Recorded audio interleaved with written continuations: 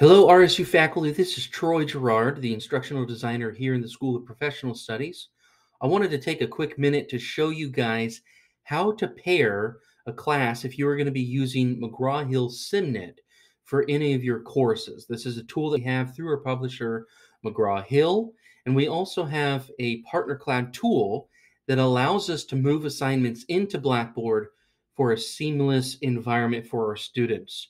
So the first thing I want to do is go to a course that I want to link a, a course to or pair a course with. I'll go out and show you in my SimNet account. I do have this test course here that's available. Uh, and this is the course that I want to pair my Blackboard course to. So I'll go into Blackboard. I'll go down to Books and Tools. It says View Course Institution Tools. I'm going to click that. You see that I have a SimNet icon up here. That's because I've done this already, but I want to uh, show you where you're going to get it for the first time. You're going to go down to the bottom, hit Browse All Course Tools. And in the center of your screen, you'll see McGraw-Hill Education. You're going to click this arrow and you'll see SimNet. The very first time that you click this button, it's going to take you to a page that says, uh, do you want to allow Blackboard to communicate with your SimNet accounts? You go ahead and agree to that and hit launch then you're going to want to sign into SimNet. If you don't have a SimNet account, you can actually create one on that page. Uh, if you do have an account, go ahead and sign in. The next page you'll come to is a page that says, well, what account are we going to? We can see that we're in Rogers State. You'll put RSU there if it is not already and hit next. The next page you'll see we have options to either A, select my test course or an existing class that we have. See, my classes are all classes. These are all the classes that are out there currently that have been linked in the past from our institution. This is the only one that I own currently for myself. So we can link to a class, or I can start a new class right on this page. Give it a title, a section, you know, a module, a default module, uh, and then also I can copy from an existing class if I wanted to. Go out and find that this was the fall um, you know, for that particular course. In this instance, I'm going to select the one I own and hit next. And very successfully, I am paired with that particular class. Now, if I wanted to, I can go back to Blackboard at this point and to my sandbox course, but I'm actually going to go ahead into SimNet. And now I want to choose what assignments I am going to be moving over into Blackboard. So I click continue to SimNet and we come to this page here that shows all of our class content within that course under that particular section, under that particular class that we have. And we have this little uh, page over here that is our integration into our LMS. It does have instructions on how to do that here up at the top, but simply you're going to go to each individual assignment that you want to move over and move it right into that root. And you'll see that it moves right under that. This root is just the main link that we have to our system. So we can move as many over as we want into this page. I'll go ahead and move these three over. Uh, and we can go ahead and finalize this by clicking this button, Finish to deploy to Blackboard. I'm going to hit Confirm. And now it moves us into a page that it wants, uh, Blackboard is wanting us to categorize these.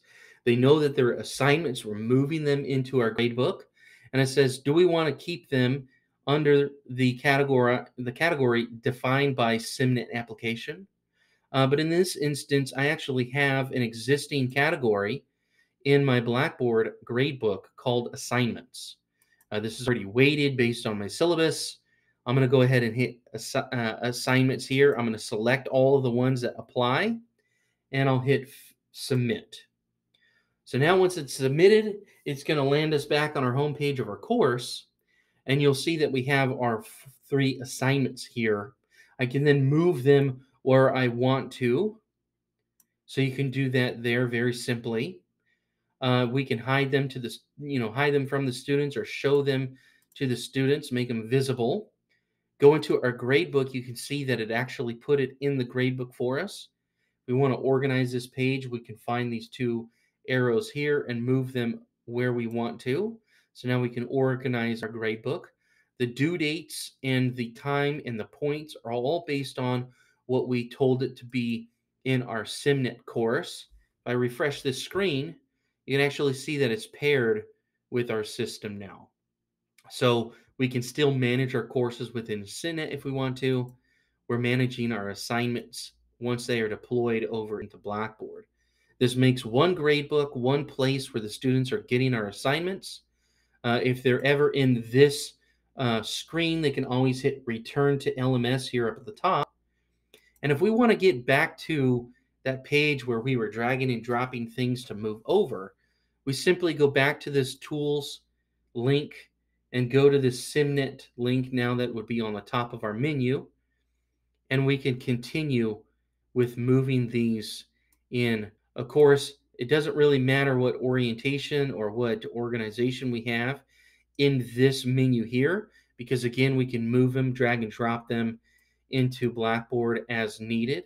If you wanted to remove this one, we can simply select it and we can remove that assignment and it'll be moved back over here. So I added one. I can go ahead and hit deploy and confirm. Again, it's going to take us back to that categories page. I'm going to tell this one that it's a test based on my Blackboard uh, category, that it is a test, and I can hit submit. And again, it moves us right here on our home page. We can move that into a module or to a folder if we want to. And it knows that it's a test, signifying this icon right here because we just told that it was a test within the Blackboard system. So very straightforward. Uh, for any student that has had multiple attempts and we need to refresh the gradebook to, uh, to, to show this, we're going to go back to that tool under our menu and you'll see that there's an arrow here. We select that arrow and we have this refresh connect uh, uh, refresh content button. This is the same for McGraw-Hill Connect as well as SimNet. We can then select all of the ones that we want to refresh in our gradebook and we hit submit. Again, this is for if multiple attempts are taken and maybe the systems uh, haven't shown the most accurate grade. Now we are forcing the system to show the most accurate grade with the, the Blackboard gradebook. All right. So if you have any questions, reach out out to me. Again, my name is Troy Gerard. I'm the instructional designer here in the School of Professional Studies. Uh, reach out to me. My phone number here on campus is uh, 343 7519. You can email me at troygerard at rsu.edu, or you can stop by my office here in Harrington Hall at 229B up on the second floor, close to the elevator. So uh, if not, you can ask our, our office uh, there in the front of the building. So again, reach out to me if you have any questions, if you need any help with this, uh, or if you just have general questions about our LMS and our and our publisher tools. Uh, go ahead and reach out to me, and I can answer the best that I can. All right, I will see you guys on the next video. Hope this helped, and I'll see you next time. Take care.